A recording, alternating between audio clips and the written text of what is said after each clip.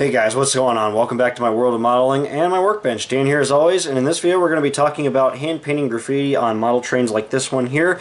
In this particular video we're going to be focusing on a boxcar, and we're going to be doing several different graffiti styles with several different techniques that I use regularly for my artwork. Now talking about the modern prototypes here. When you're modeling modern day, so anything between mid-2000s uh, to the present, uh, we're talking about rail cars, modern rail cars, and most of them will usually have graffiti like this. Uh, these are very basic art styles. Some of it can get kind of complex, but I'm going to be focusing more over on generally the more common style of artwork for this video, so don't worry, we're not going to be getting into anything too complex. That'll come later. What we're going to be working on is basic graffiti styles like this, as you can see, that I've translated on this modern auto rack here.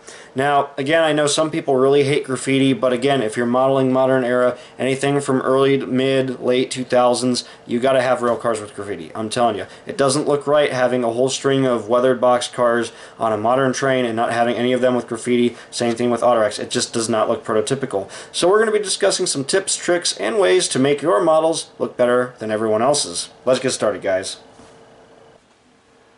Alright, so we're set up on my workbench here, and we're going to be actually looking at this GMRC boxcar. This is an Athearn 50-foot boxcar out of their newer release. Uh, it's a pretty well detailed model, but of course it doesn't really matter the quality of the model. What we're trying to focus on today is painting graffiti like this, as you can see on this car. And obviously with graffiti, I mean, there's so many different kinds of graffiti. You can paint this on all kinds of rolling stock, all kinds of different boxcars. Here's an example I just did the other day uh, with some finished graffiti there. Of course, you can do it on tank cars, you can do it on gondolas. Uh, Autoracks are another common car. Here's some custom painted artwork I've done on this Autorack here.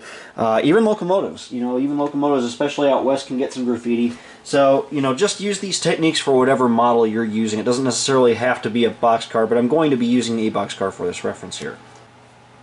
So obviously the second biggest question I get when doing graffiti is where do I get my prototype reference? And the simple answer to that is anywhere I can find it. As you can see, the graffiti I'm actually going to be copying for this car is on this covered hopper here. Uh, simple reason because I couldn't find good enough artwork for this particular car, and since I can't have, a, or rather find a photo of this particular model I'm going to be uh, replicating, I decided to hack some graffiti from the internet. And this is something I do quite often. You know, you don't have to necessarily stick to uh, the prototype car to try to find graffiti. If you can't find the photos, use something else. Find something else to get inspired with. As long as you're putting some graffiti on and trying to, you know, copy it to the best of your ability, that's what matters. And as you can see here, I said uh, I stumbled on this graffiti on YouTube here. I'm not going to name the name of the video, but we're looking at this tag here. This is what I'm actually going to be replicating. Now this particular tag is by Verbs. Now, a way you can also look up prototype artwork if your guys are trying to copy uh, some basic tags, some basic graffiti like this, you can of course look up this particular artist, look at other pieces he's done. You can look up artists like ICH Ichabod, he's the very common one. A lot of people like his artwork. He's the uh, brick letter style uh, dude who does the skull, the pointing uh, finger skull. Very common artwork. You can of course look that up. Uh, you can of course type in graffiti Simple as that. Do a Google search on graffiti or train graffiti, even better, and that'll show you all kinds of different archive material on graffiti, all kinds of websites, Flickr, for example. Uh, sometimes I get my artwork from railroadpicturearchives.net, for example. I'll go on there, search for a particular class of car, like a boxcar, for example, go through tons of different car numbers of a particular road and see what if I can just, you know, pick out some different tags that I like and I'll combine them together and make the various artwork. Of course, if you have a picture of the prototype car and you can copy the exact graffiti, that's always the best. And that's generally what I try to do, but like I said, I don't have an exact photo of the car that I'm replicating, so I'm taking liberty here to use a tag that's relatively easy and again, has all the details I want to be able to demonstrate for the purpose of this video. Uh, it features different colors, it has a pretty nice shading effect. It's got highlight effects. It's got a backdrop, shadowing, everything. That's the very, very basic style of graffiti tag that you'll see. So again, you know, you can of course also with prototype reference, you can go out and actually watch the trains, get pictures of your own cars. If you see a piece of graffiti artwork you want to get it, take a picture of it, and then that's basically a reference material. You know, there's no right or wrong way of getting reference material. Wherever you can find it, whatever you want to copy, that's what works. Alright, with that long-winded section out of the way here, let's go ahead and talk about the kind of paints I'm going to be using. I, of course, always use craft acrylic. The third big question I always get asked when I use craft acrylic is people will ask me if I thin this out, and the answer is no, I do not. Uh, in some cases, I might have to if my paint's starting to get a little tacky because honestly, acrylic doesn't have the best shelf life. I, of course, can mix up my own colors, but I have tons and tons of different colors. You can see I just have a small selection of different colors I'm going to be using here in the background for this project uh, out. But I, again, have tons of different colors. But the other reason I use craft acrylic paint is because it's cheap. You get multiple different colors, and it's affordable. You know, this stuff is only like 79 cents a bottle, unless you get like uh, the bigger bottles like this, for example you know that can set you back maybe one two dollars but again it's not that big an investment and you get tons of paint uh, so that's why I prefer acrylic paints but of course you can use enamel paints if you like. However, with enamel paints, uh, they're a little bit chunkier to work with. They take longer to dry. They stay tacky for a very long time. They can be a little bit harder to control, and of course, if you screw something up, they're harder to remove if you choose to remove it.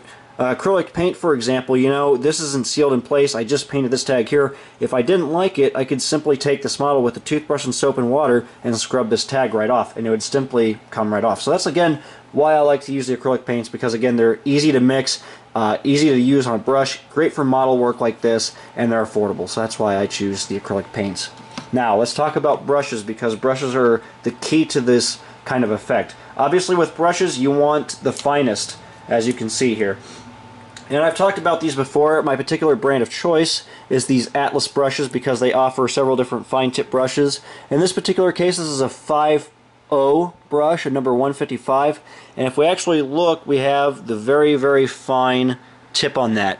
That's very sharp and that's ideal for doing the graffiti. As you can see, I have two. One's a little bit more worn out. One's ultra fine, so I do all of my fine line work, all my highlight work, and everything like that, small fine tags with this brush here.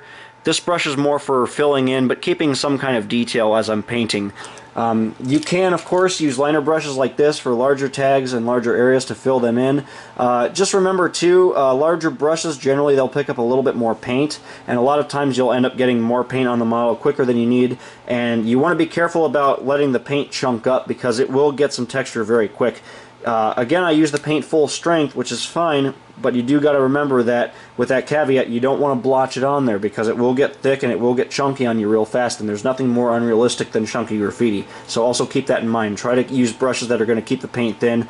Uh, but again, you can use liners. These are the kind of brushes you can use. But again, I prefer the Atlas brushes. You don't have to necessarily get this brand but you can use something similar. But just again, make sure that you're using very good quality brushes and not something that's going to wear out. You know, I can get uh, quite a few jobs done with one of these brushes before they start getting frayed out. But again, the quality matters because a cheap brush, it'll get worn out real quick and you won't be able to paint anything with it. And you of course want to avoid brushes like this where they start getting so frayed out that they're almost pointless. You can see that tip is completely frayed and this is honestly going to go in my junk box of spare uh, brushes so I'm not going to be using something like that, and I don't recommend you guys use something like that because, again, it's very rough and it's not going to get you fine lines because in scale form here, you want to keep your graffiti tight. You want to keep lines tight. Everything is very important here. Even if you're painting crappy graffiti that maybe is kind of squiggly and everything like that, when you're trying to replicate those kind of squiggles and stuff, it doesn't translate well to scale. So I, again, I recommend you try to keep things as straight as possible, and again,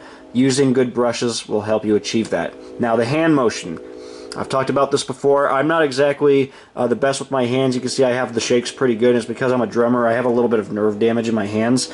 Uh, but how I remedy this is I just hold the brush as, as uh, smoothly as I can, and I will usually rest this hand against my workbench so I'm completely controlled. I know some people like to hold the model in hand like this and then paint. I've seen a couple modelers do that, and that's fine. You know, work however you want and however you're comfortable with it. I generally try to have the model set up on my um, workbench I'll have like a tool I can just kind of prop it up on. This works fine, but again, just be careful with finer, finer detailed cars that you're not breaking off details when you're having it set up like this, because sometimes you can bend stirrups and things, but with these Athearn models, they're pretty durable, so I don't have to worry about that too much. So, okay, so with all that being said, let's go ahead and work on the graffiti here. For the tag I'm replicating here, you can see the main color is a darker blue shade. And to replicate this tag, I'm going to be using the acrylic paint, and I've actually taken my uh, blue, and I've taken a Hawaii blue by Anita's and mixed them together to create the custom color that I need. So what I'm going to do is I'm going to take my fine Atlas brush, and I'm going to take and grab some of this paint that I've actually mixed up on a sheet of paper, and I'm going to try to position this exactly where I want it. So in this case I kind of want the tag in this corner. I'm going to put it here and then work everything else around it. Um, so I'm going to start in the corner here. If we get zoomed in, I'm basically going to take the brush, I'm going to pick a spot where I want it, and I'm just going to start very carefully painting this on. Um, you know, there's multiple different ways you can do this kind of technique, but this is the basic fill-in. The basic outline is usually what you want to start with first. Uh, I know some artists like to take and they'll sketch out the design on the side of the car before they actually paint it. I don't really do that so much anymore, but I actually used to. But if you guys want, you can always take like a mechanical pencil or something like that, and you can actually trace the outline of the graffiti you're painting so you get a rough idea of what it's going to look like and where you need to keep it so that it's scale sized. And again use that as a guide to paint on your letters and everything and then all the other details can come later. Um, but in this case I just pretty much freehand. This is my basic freehand technique. And I just simply go in and I just start shading everything in. I get the basic outline of the graffiti tag filled in first. We're not worried about details here we're just doing the basic fill-in as you can see. So I'm going to just try to copy the basic shape of this uh, particular V lettering onto this car and I'm going to work it around all the ribs and everything else until I'm happy with the shape and I got it exactly how I want it. If all goes well with that, you should be able to have a reasonable looking tag in place. You can see this one is all finished up. It's still in the process of drying a little bit, but I can keep working on it. Uh, it matches pretty well with um, you know the image online and I scaled it down pretty well to fit this particular car. Um, notice I have not put on any uh, little details or any highlights or anything. What we need to work on right now is the colors. In this case with this graffiti it has a little bit of a band of different color in the center. Um, and I'm going to be painting that on next and it's going to be yellow. So I got some Anita's bright yellow to do this. And again, I'm going to do the yellow first. There's also some orange, but we're just going to be using this. So what I'm going to do is just come back in here, and I'm just going to paint over what we've already done. And I'm going to again keep it in those borders. And of course, we'll tie all this together uh, in a little while with some different colors, and then we'll add our highlights. And this will all look much more to the prototype. Of course, this always looks kind of crappy at first, but this is just part of it just get your outlines done first and then you can go back and then you can fill all this in. There is the second color applied and I had to do two light coats of this to get the yellow built up just enough to where I needed it to be and you can see it's all filled in. So now I'm going to add the orange highlights with a little bit of straight Anita's orange uh, right at the top and bottom of this yellow highlight. Uh, it's not going to be worked on too much. I'm again just going to take a fine tip brush and I'm just going to slowly build this color on.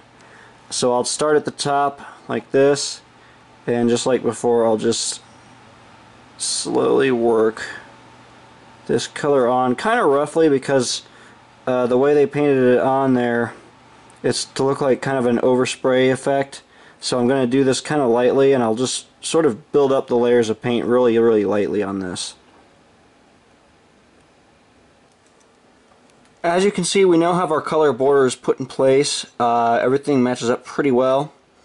Again, when you're trying to copy some of this, again, you know, if you're especially freelancing the graffiti onto a different car, uh, you don't have to be necessarily exactly precise, but as long as you use the reference photos as a guideline, you can get some decent results like this here, and I'm very happy uh, with how this turned out. What we need to do now is start putting in the borders, and then we'll move on to the details and things like that. Uh, the border is basically either going to be a white line, a black line, a yellow line, you know, a, a purple line. Really, again, it refer, uh, just comes down to what is on the prototype. But the most common lines as a border you'll see are white lines and black lines, or a mixture of the two. In this case, it has the black borders and then white highlights. So what we're going to be doing again is taking straight black acrylic, and I'm using the absolute finest uh, 10-0 number 155 brush here uh, by Atlas to do this. So I just take a little bit of paint at the time to do this. Take note too, I'm not saturating this brush in paint. I want that paint to be just on the tip so that I have complete precise control. If you soak the brush in the paint, you're not going to have as much control. Also, when you're doing this, try to keep as much of a steady hand as possible. Use whatever technique you need to to maintain that steady grip and control. Uh, of course, if you do slip up, you can always go back. You can always touch this paint up if you need to. You can make a new bit of that base coat and then just touch up what you uh, might mess up. But I've done this enough times that I have a pretty good hand at this. I usually just go in and do it one-handed, and I can generally have a, a basic tag like this filled in in about 10 minutes. Alright, so it came out pretty good. You can see I got all of the thicker border lines painted on. I did the finer detail work after I got the main border on. Uh, it looks pretty good. There's a few areas I got to touch up where things are misproportioned a little bit, um, but I'll just mix up a little bit more of this blue color and I'll touch some stuff up. What I want to work on right now is the purple border that will go around all of this, and then I'll come in, fix up, and touch up some of the paint, and then I'll add our highlights. What we need to do is take some purple, in this case I'm using some straight purple Anita's acrylic, again full strength, and I'm going to be using, actually, probably better get a different brush for this. I'm going to be using uh, another fine tip here for this process. And again, I'm just going to refer to prototype photos. You know, a lot of taggers use uh, color backgrounds for their tags, which makes them pop a little bit more on the car. Um, this will help, of course, to detail this a little bit more. Um, but even if you're freelancing graffiti, always think about maybe adding some borders or something like that to your graffiti to add color. You know, graffiti is pretty colorful a lot of times, especially by better artists. They'll generally put a lot of color into their work, and having a color border can really even make a basic tag like this one pop quite a bit, as you'll see. So I'm just going to proceed to work around all this lettering and put in all this purple paint. Again, working it in on all these small little details around the door track, areas underneath the lettering, for example, around the top, uh, around this data here, for example. Alright, so at this point we've got some pretty good headway going here. Overall the graffiti's turned out really good. I really like the way it looks. It blends well with the other graffiti and it's starting to look just like a real boxcar. And I've of course at this point added some minor weathering effects to make it look like some fresh patching here and there, some paint chipping and uh, some weathering to the patches. But still focusing on the graffiti here. Now again with most graffiti like this, a lot of times this kind of graffiti will be accompanied by tags of people not just so much writing their John Hancock on the side, moreover writing some uh, gibberish or some small slurs or sayings or things like that on the sides. It's a very common thing you see. A lot of times they write them all over the place. Sometimes this lettering can be a little hard to copy, but if you use photos and you can practice a little bit, you can generally get this kind of art style down. As you can see, there's a little bit of black tagging I've done, some white tagging here. Uh, and some of this is hand painted, some of this is hand drawn. Now, what I like to do is I like to bounce back between techniques to do a lot of my uh, hand drawn graffiti where I'll, I'll take like a paint pen or something. The main thing I use is for white, for example, is a Gelly Roll 08 pen here. These have a very fine tip. You can do a lot of fine detail effects with these, and I've demonstrated doing graffiti with these a couple times on this channel using uh, several different models as examples. Of course, you can use the uh, Micron pens. They make these in a very fine tip and then an ultra fine tip, so you can do some pretty fine stuff.